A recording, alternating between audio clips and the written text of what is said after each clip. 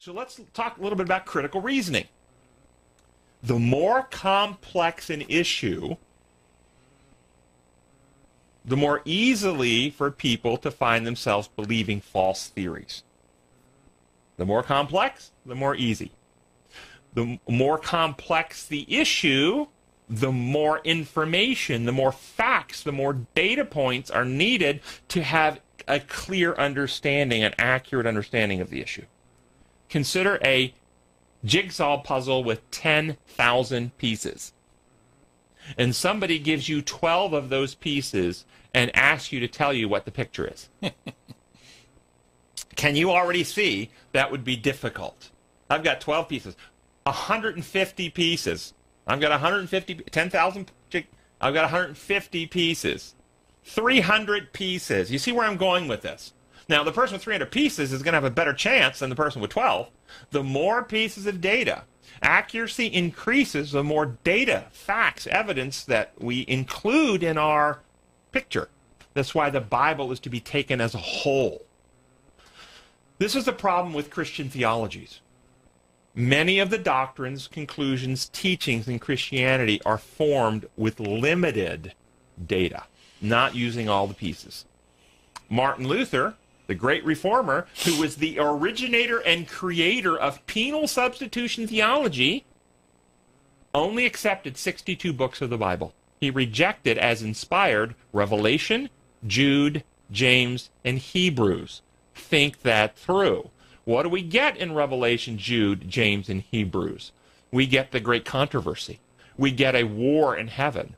We get a high priest that's working to heal our hearts and minds and transform us and write the law on the heart and mind. It moves completely away from a penal legal model into a healing restoration model, which Martin Luther did not have. Many Christians today limit their. So I'm going to suggest you penal substitution is wrong. okay? It is not reality. It's based on imperial human law rather than design law, and it's based on just taking pieces here and there of the inspired record and rejecting or excluding pieces that don't fit. Uh, many Christians uh, today split the Bible into two halves the Old Dispensation and the New Dispensation, the Old Testament and the New Testament, and they don't include the entire Bible. They don't see one whole story. A human race that became contaminated with sin in a terminal state, and God promising in Genesis a Messiah who's going to fix the problem. And the entire Bible story is the story of the battle between the forces of heaven and the forces of Satan for the Messiah's coming to fix the sin problem and save mankind. That's the whole story. They don't see that. They actually see. I hear. I hear on Christian radio. It's unbelievable to me theology professors at different institutions, world recognized, teaching that in the Old Testament times, people were saved by animal blood. They had to sacrifice animals in order to have their sins taken care of. It's ridiculous.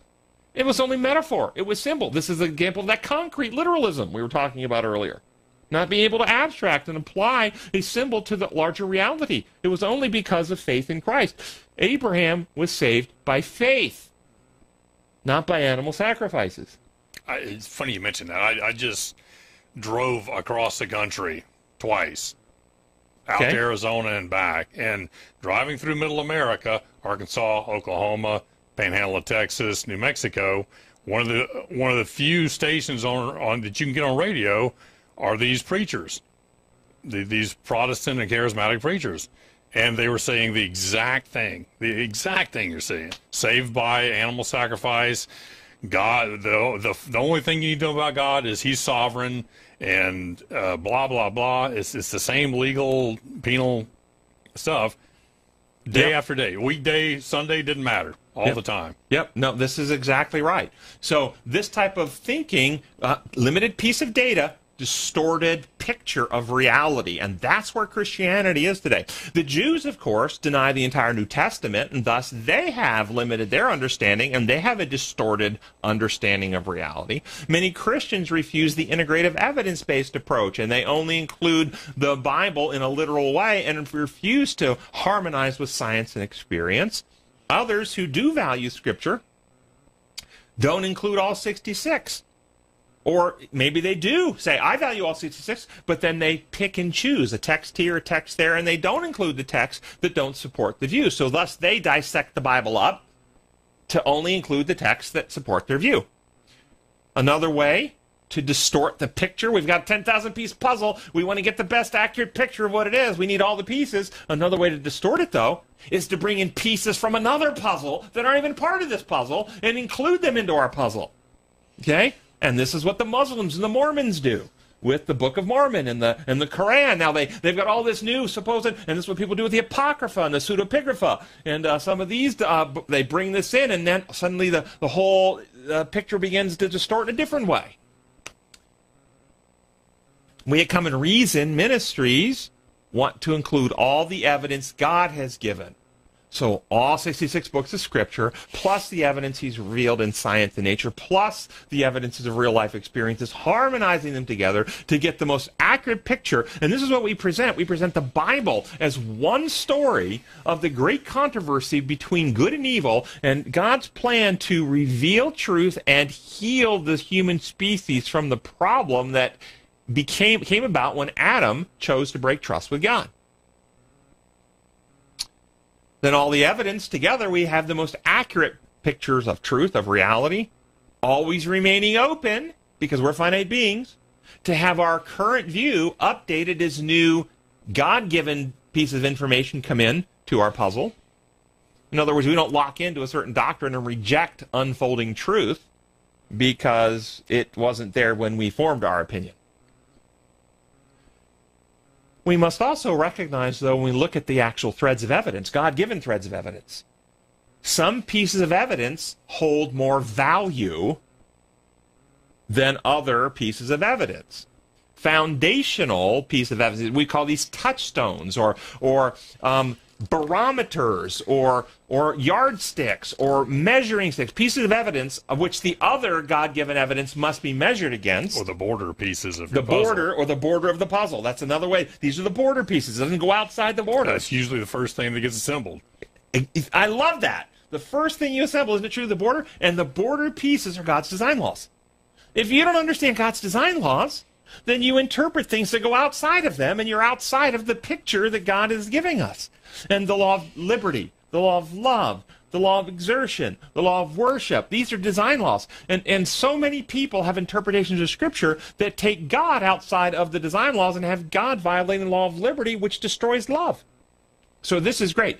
Um, so the design laws are the yardsticks and measure. And another one is we always must take Jesus as fully God one of the other attacks that Jesus is the barometer, Jesus is a touchstone. You come back to Jesus over and over again. If you've seen me, you've seen the Father. The Father and I are one, Jesus said.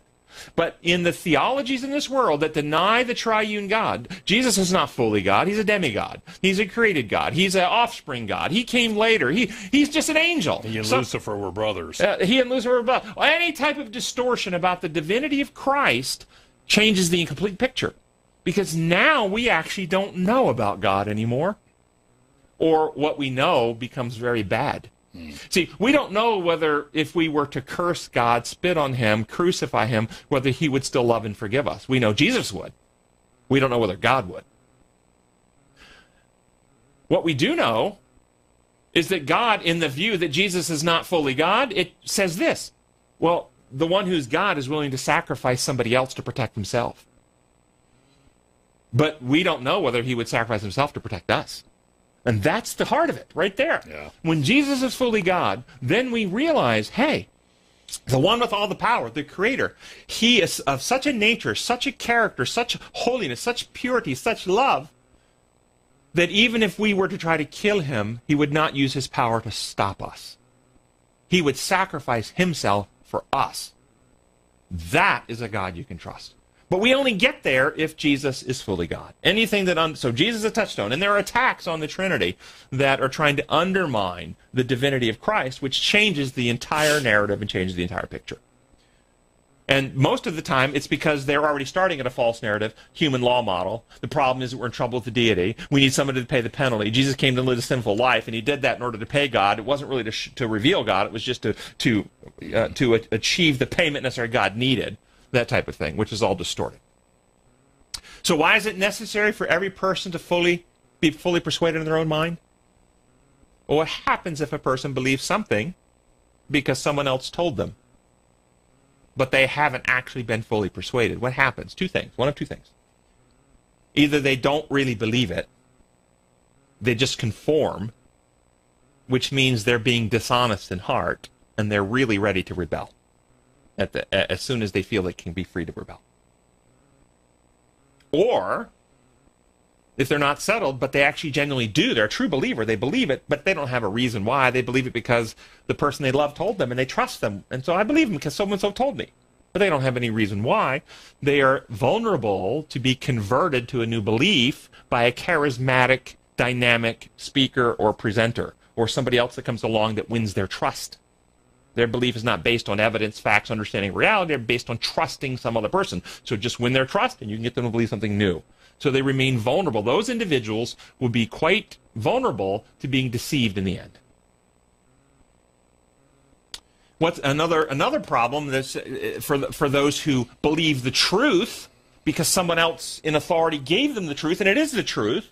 It's like the person who has a math teacher who gives them the right answers and they memorize the right answers and they know the right answers. They are the right answers to these particular problems. But they have no idea how to do math many Christians are raised in Christian homes and indoctrinated with a certain doctrinal system of belief, and they might have the right belief about baptism or a state of the dead or some doctrine, but they have no idea why that's the right belief and the implications of what it means. And when we understand the truth and why it's that way, then we can reason our way through other problems that are new and, and we haven't been given the answer for.